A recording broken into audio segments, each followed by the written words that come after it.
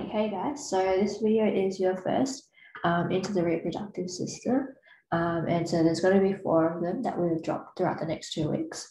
Um, and the first one is a little bit about the descent of the testes. So the testes originate as an indifferent gonad on the posterior abdominal wall. And this whole thing basically happens in the seventh to 12th week. So because they're in the abdominal wall, um, they have to get down somehow to basically the scrotum where they're going to end up. Um, and so this whole video is basically just talking about how they're getting down there and what's actually happening or changing around them as it goes down. Um, but before we actually get down into their descent, we have to talk about two really important embryological structures. Um, so the first one is the gubernaculum. And the second one is this thing called the processus vaginalis.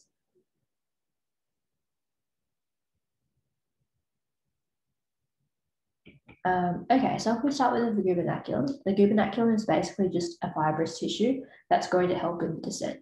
So essentially, it starts off a bit long and then it starts to shorten and shorten. Um, and this shortening will pull down the testes from that posterior abdominal wall all the way into the scrotum.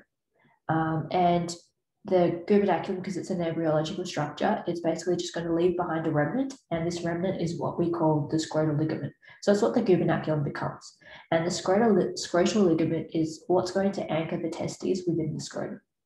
So if your gubernaculum is defective, we can get things like testicular torsion, which is a medical emergency as it can basically just cut off that blood supply to the testes. So this is super painful. It can actually cause infertility.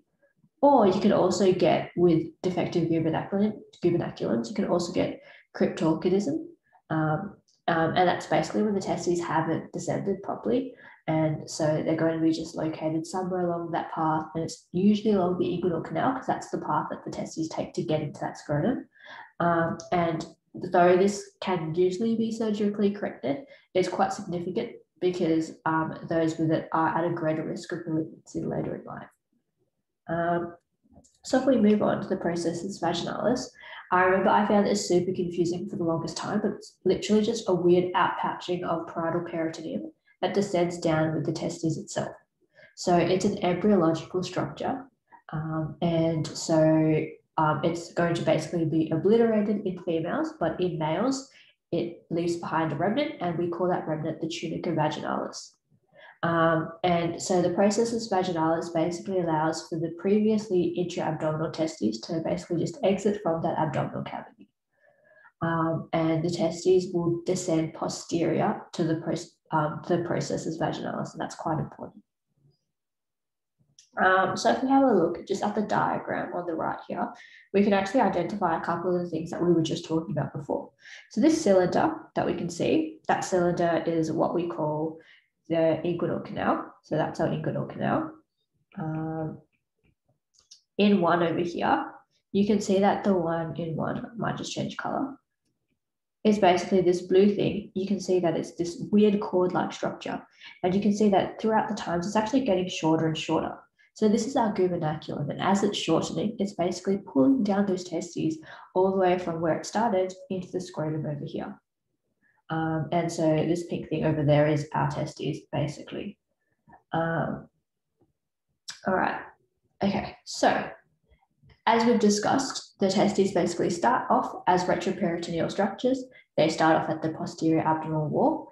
Um, even though they start off on the posterior abdominal wall, they're actually also attached to the anterolateral abdominal wall um, by that gubernaculum as well um, which is basically, as we talked about, it's going to be pulling down these testes through into the pelvis and ultimately into the scrotum via that inguinal canal. So as the testes actually pull, get pulled down through that canal, it's going to be preceded by the processus vaginalis. Uh, but as they actually descend, they start to grab muscle and fascial layers that they pass through or that they basically pass by. Um, so what happens is as they begin their descent, they grab these layers and they pull them down so that they actually go into the canal and the spermatic cord as well.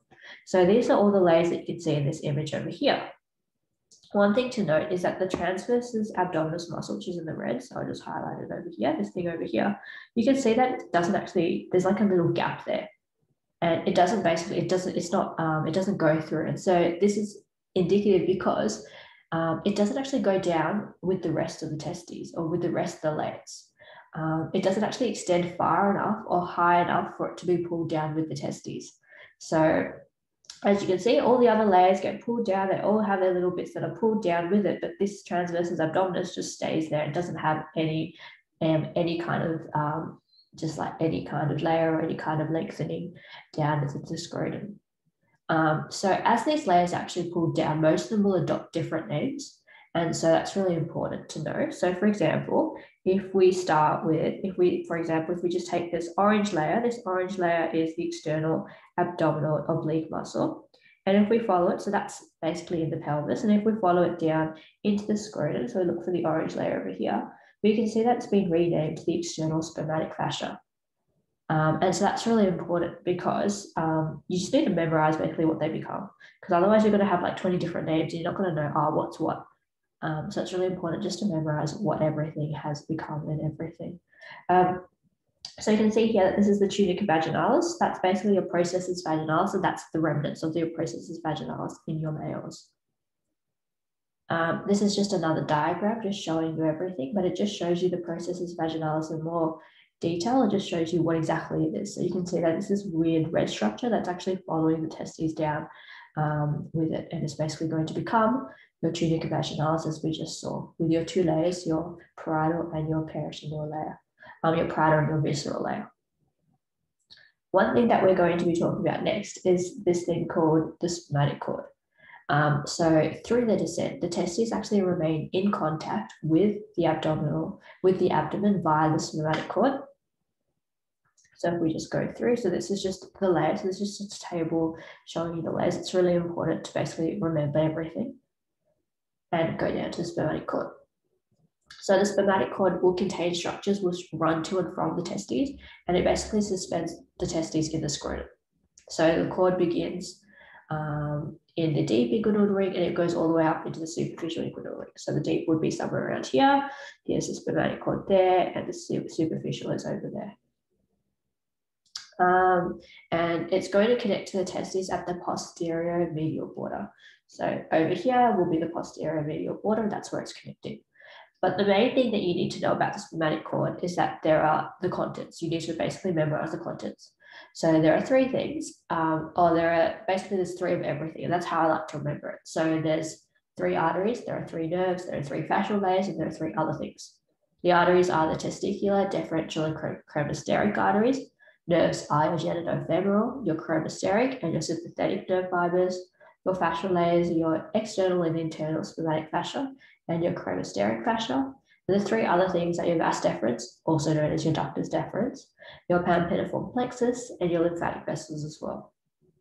So as you can see in this diagram over here, you can actually kind of see where these things are in like a cross section of your spermatic cord, and you can start to identify, oh, this is where everything is um, rest assured you don't actually need to know. They're never going to be like, oh, what's this one particular thing or what's this one particular thing. You don't need to know that. You just need to know that, okay, um, these are the things that are present in the spermatic cord. Um, and with that, that's pretty much everything to do with the descent of the testes and just the spermatic cord as well. If you've got any questions, feel free to shoot us an email, have check out our slides, and hopefully that'll help a little bit. Um, I know that Lads also has like a banging video on this, so hopefully um, with all of that, that'll make this topic a little less confusing for you guys.